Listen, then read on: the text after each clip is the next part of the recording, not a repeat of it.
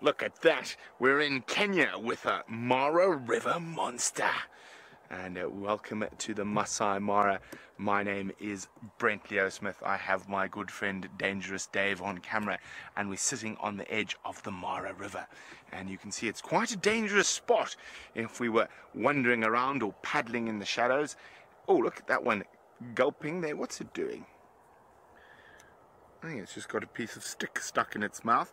Now, when you see crocodiles with their mouths open, lying on the side of the river like that, it is generally means they are trying to cool down.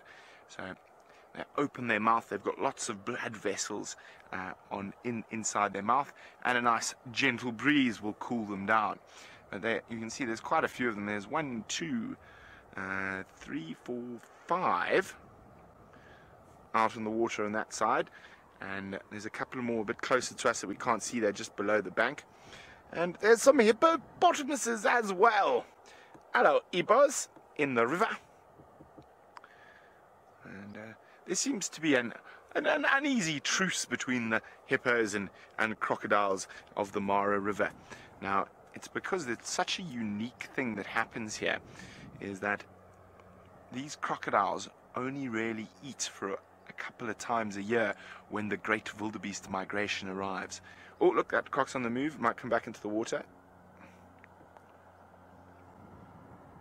Here we go. Or was it just swapping positions? No, just swapping positions. Hi, Carson. Carson is wondering, can a crocodile kill a lion?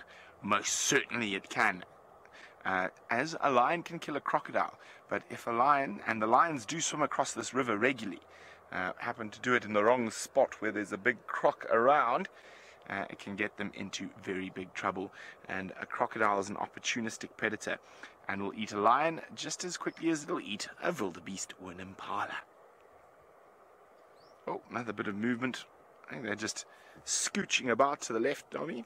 There's another croc moving scooching about, maybe find looking for a, a different bit of sand that's a bit more comfortable.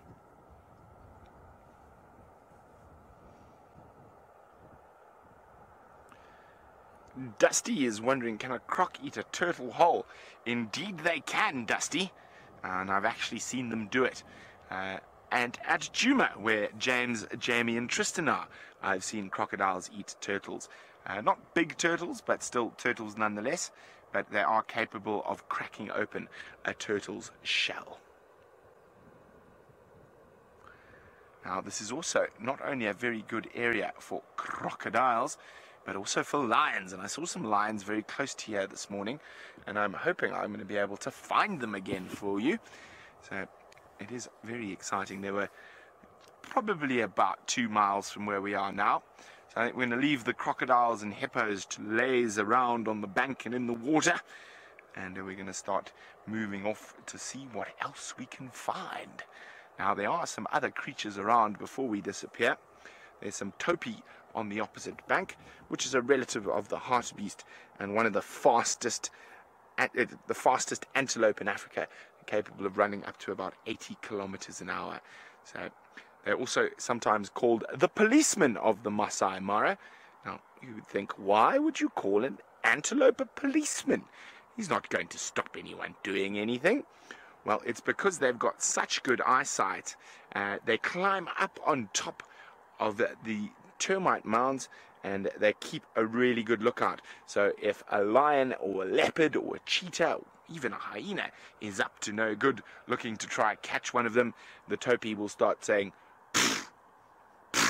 I see you, I see you, and tells all the other animals that there's a predator about and that gives them a chance to escape.